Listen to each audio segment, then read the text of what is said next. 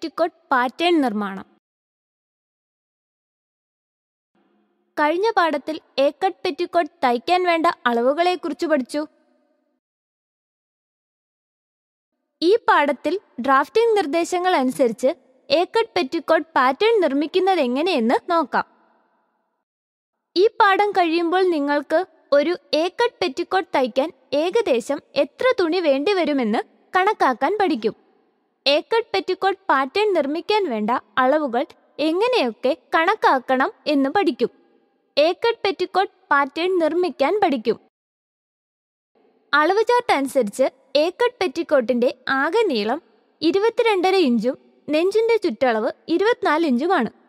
ഈ അളവുകൾ അനുസരിച്ച് ഏക്കട്ട് പെറ്റിക്കോട്ട് തയ്ക്കാൻ വേണ്ട മൊത്തം തുണി എത്രയെന്ന് കണക്കാക്കാം. ആകെ നീളം ഇരുപത്തിരണ്ടര ഇഞ്ചിന്റെ കൂടെ തോളിലെ സീം അലവൻസിന് കാലിഞ്ചും അടിവശത്തെ ഹെമ്മിങ്ങിന് ഒരിഞ്ചും കൂട്ടിയാൽ ആകെ നീളം ഇരുപത്തിമൂന്നര ഇഞ്ച്. മൊത്തം ഇരുപത്തഞ്ച് ഇഞ്ച് എന്ന് എടുക്കാം.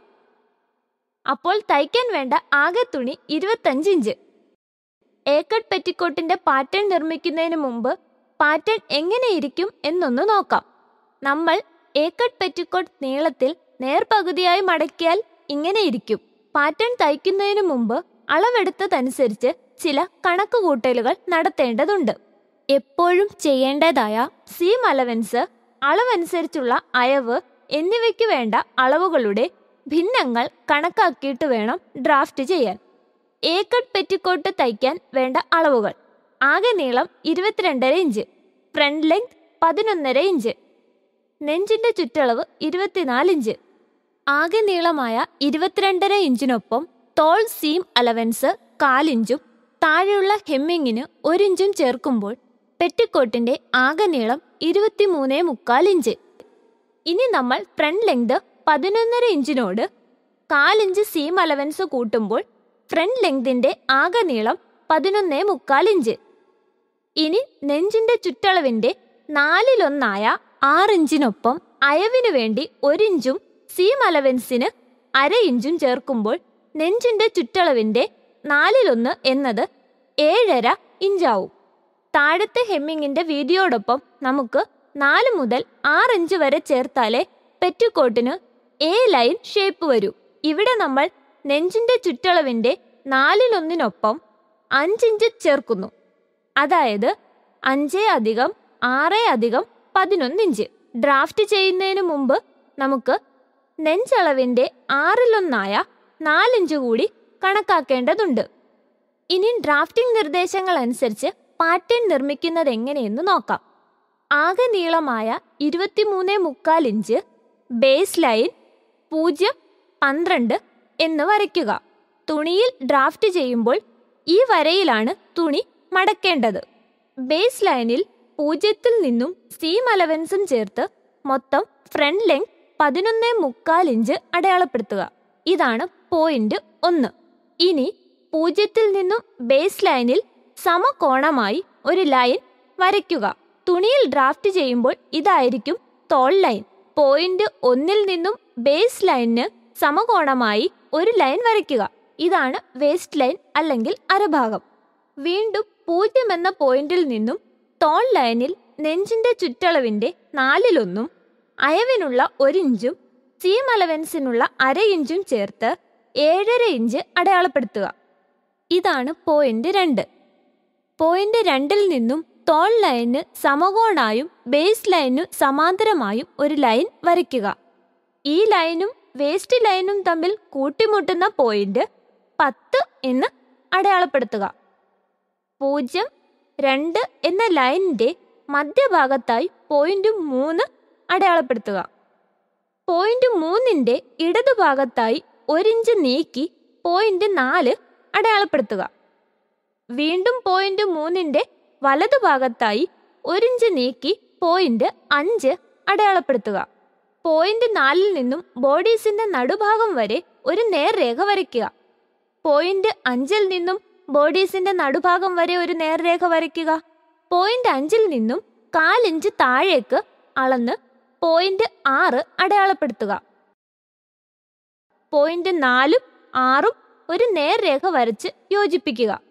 ഇതായിരിക്കും തോളിന്റെ സ്ലോപ്പ് പോയിന്റ് രണ്ടിൽ നിന്നും നെഞ്ചിന്റെ ചുറ്റളവിന്റെ ആറിലൊന്നായ നാലിഞ്ചിന്റെ കൂടെ അര ഇഞ്ച് കൂട്ടി നാലര ഇഞ്ച് താഴേക്ക് അളന്ന് പോയിന്റ് ഏഴ് അടയാളപ്പെടുത്തുക. പോയിന്റ് ഏഴിൽ നിന്നും ഇടത്തേക്ക് സമകോണായി പോയിന്റ് അഞ്ചിൽ നിന്നും ലംബമായി വരച്ച വരയിലേക്ക് ലൈൻ വരയ്ക്കുക. പോയിന്റ് പൂജ്യത്തിൽ നിന്നും ബേസ് ലൈനിൽ നെഞ്ചിന്റെ ചുറ്റളവിന്റെ ആറിലൊന്നായ നാലിഞ്ച് അളന്ന് അടയാളപ്പെടുത്തുക. ഇതാണ് പോയിന്റ് എട്ട്. പോയിന്റ് എട്ടിൽ നിന്നും മേൽപോട്ട് ഒരിഞ്ച് അളന്ന് പോയിന്റ് ഒമ്പത് അടയാളപ്പെടുത്തുക. പോയിന്റ് എട്ടിൽ നിന്നും സമകോൺ ആയി പോയിന്റ് നാലിൽ നിന്നും ലംബമായി വരച്ച വരയിലേക്ക് ഒരു ലൈൻ വരയ്ക്കുക. പോയിന്റ് ഒമ്പതിൽ നിന്നും സമകോണായി തുടങ്ങി പോയിന്റ് നാലിലേക്കുള്ള ലംബമായ ലൈനിലേക്ക് ഷേപ്പിൽ വരയ്ക്കുന്നതാണ് കഴുത്തിന്റെ പിൻവശം. വീണ്ടും പോയിന്റ് എട്ടിൽ നിന്നും സമകോണായി തുടങ്ങി പോയിന്റ് നാലിലേക്കുള്ള ലംബമായ ലൈനിലേക്ക് ഷേപ്പിൽ വരയ്ക്കുക. ഇതാണ് കഴുത്തിന്റെ മുൻവശം. അടുത്തതായി പോയിന്റ് ഏഴിൽ നിന്നും നമുക്ക് ആം ഹോളിന്റെ മുൻവശം ഷേപ്പിൽ വരയ്ക്കാം. നേർരേഖയിലൂടെ വരച്ചു തുടങ്ങി ബോഡീസിലേക്ക് വളച്ച് പോയിന്റ് ആറിലേക്കുള്ള നേർരേഖയിലേക്ക് യോജിപ്പിക്കുക. ഇതാണ് ആം ഹോളിന്റെ മുൻവശം. ഇനി ആം ഹോളിന്റെ പുറകുവശം വരയ്ക്കാം. വീണ്ടും പോയിന്റ് ഏഴിൽ നിന്നും നേർരേഖയിൽ വരച്ചു തുടങ്ങി കർവായി വരച്ച് പോയിന്റ് ആറിലേക്കുള്ള നേർരേഖയിലേക്ക് യോജിപ്പിക്കുക. ഇതാണ് ആം ഹോളിന്റെ പിൻവശം.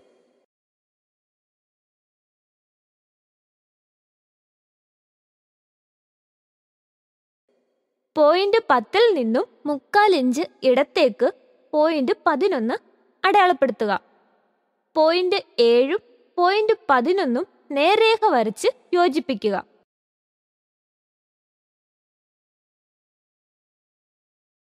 പോയിന്റ് പന്ത്രണ്ടിൽ നിന്നും ശാഖാപാതയിലൂടെ അടിവശത്തെ വീതിയായ പതിനൊന്നിഞ്ച് അളന്ന് പോയിന്റ് പതിമൂന്ന് അടയാളപ്പെടുത്തുക. പോയിന്റ് പതിനൊന്നും പോയിന്റ് പതിമൂന്നും നേർരേഖ വരച്ച് യോജിപ്പിക്കുക.